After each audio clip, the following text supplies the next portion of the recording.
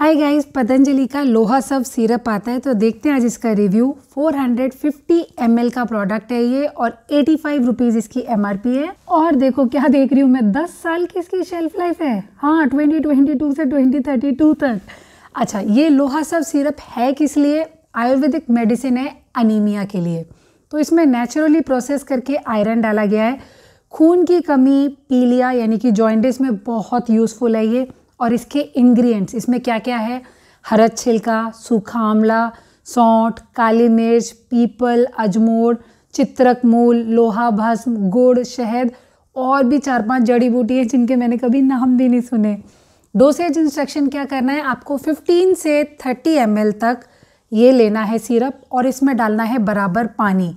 और खाने के बाद दिन में दो बार आपको लेना है। ये इंस्ट्रक्शन पतंजलि की वेबसाइट पे दिए हुए हैं।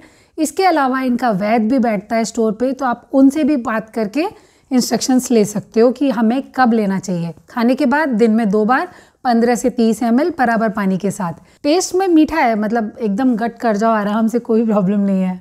तो पी के देखते हैं कि कितना फ़र्क पड़ता है। और बताऊँगी मैं आपको कि इससे मेरा हीमोग्लोबिन लेवल कितना बढ़ा आप शॉक्ड हो जाओगे। नेचुरली एनेमिक हूँ। मैं मेरा हीमोग्लोबिन 7.5 था। दैट टू मैं इतनी अच्छी डाइट खाती हूँ, पता है? पर ठीक है, जो है सो है। अब उसमें क्या कर सकते हैं?